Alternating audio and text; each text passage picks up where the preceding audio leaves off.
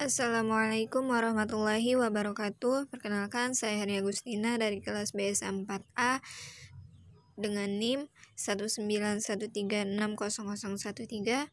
Di sini saya akan menjelaskan sedikit tentang al-af'alul hamzah. Kita referensi yang saya pakai untuk menjelaskan tentang al-af'alul hamzah ini adalah an-nahwu tatbik. Yang pertama yaitu saya akan menjelaskan daripada pengertian al-af'alul hamzah. Apa itu al-af'alul hamzah? Dilihat dari asal katanya, al-af'alul hamzah terbagi menjadi dua yaitu ada al-af'al yang memiliki arti jamak daripada fi'il dan juga al-khamsah yang memiliki arti yaitu lima.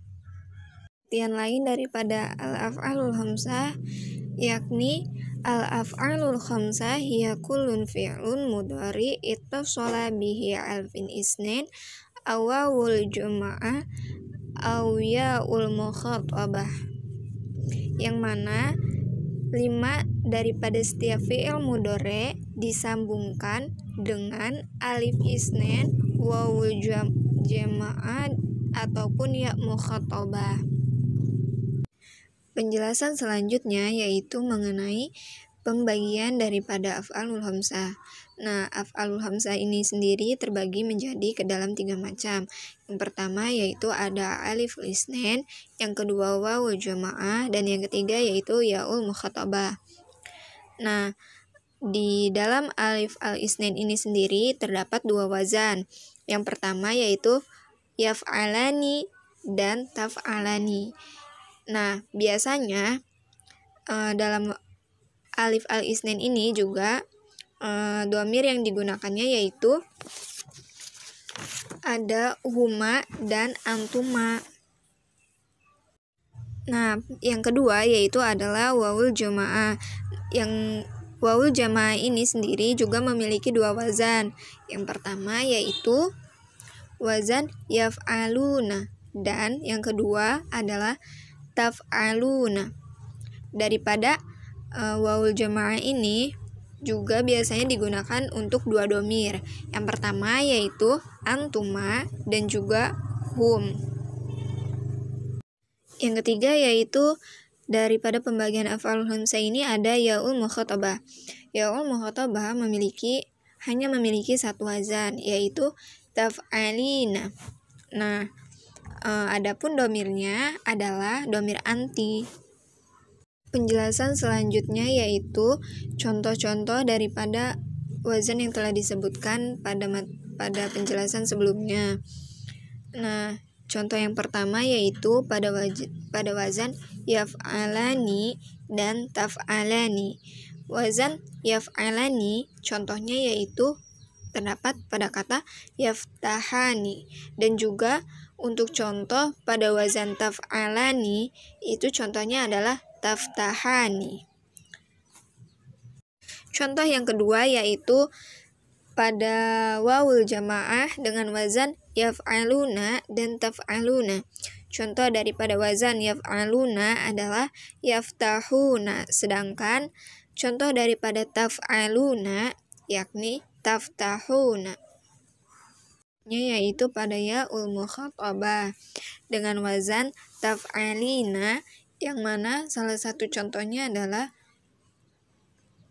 taftahina. Penjelasan selanjutnya yaitu mengenai i'rab af'alul hamzah. I'rab af'alul hamzah sendiri terbagi menjadi ke dalam tiga macam. Yang pertama yaitu ada marfu, yang kedua ada mansub, dan yang ketiga yaitu ada jazm. Yang pertama yaitu ada mislul marfu.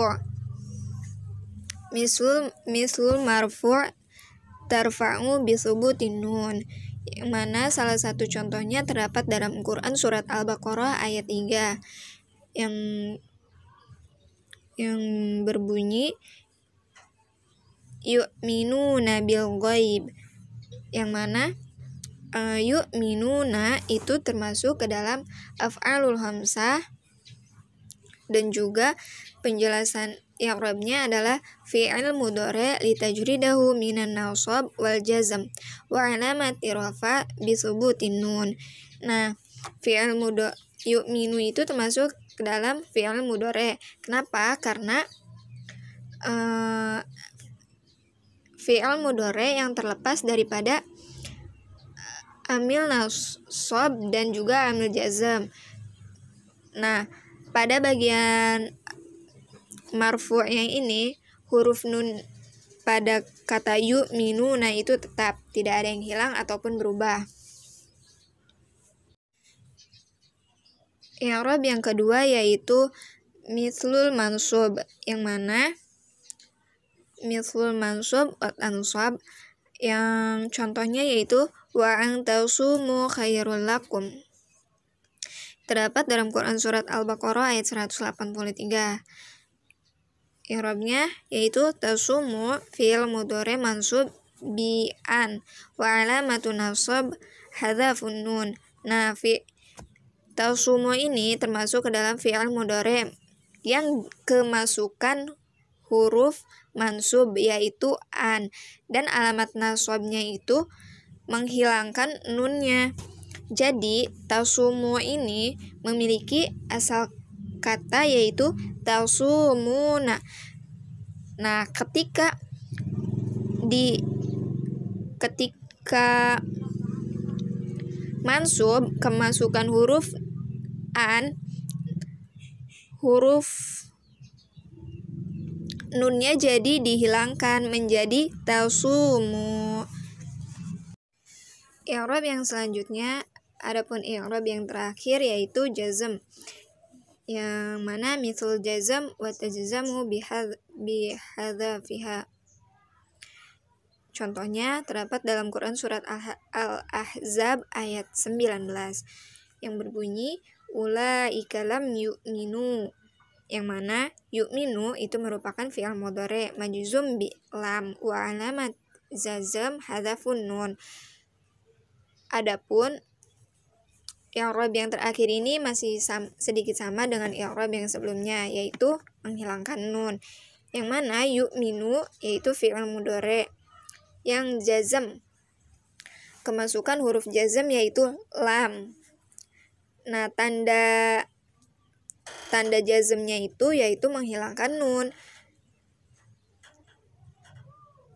Seperti katanya, kata yu'minu itu memiliki uh, memiliki asal kata yaitu yuk minuna ketika ketika jazam kemasukan huruf lam menjadi yuk minu lam yuk minu nunnya dihilangkan.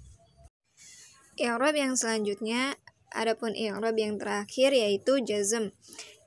Yang mana misal jazm wa tajzamu bihadzafiha Contohnya terdapat dalam Quran surat Al-Ahzab ayat 19 yang berbunyi ulaika lam yu'minu.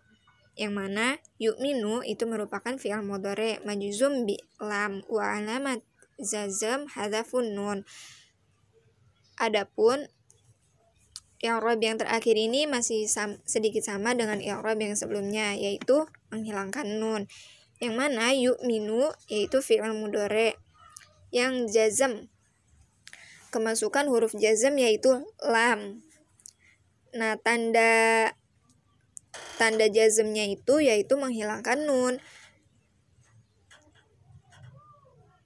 Seperti katanya, kata yu'minu itu memiliki uh, memiliki asal kata yaitu yu'minuna. Ketika ketika jazam kemasukan huruf lam menjadi minu lam minu nunnya dihilangkan. Adapun contoh lain ya uh, untuk mungkin bisa untuk mempermudah juga yang pertama yaitu pada domir huma ketika domir huma contohnya yaitu yaktubani itu ketika rofa sedangkan ketika nasab menjadi yaktuba sedangkan ketika jazam menjadi lam yaktuba. Domir yang kedua yaitu antuma. Ketika rofa contohnya yaitu taktubani. Ketika nasab menjadi lan taktuba. Dan ketika jazam menjadi lam taktuba. Nah, domir yang ketiga yaitu domir hum. Ketika ketika rofa menjadi yaktubuna.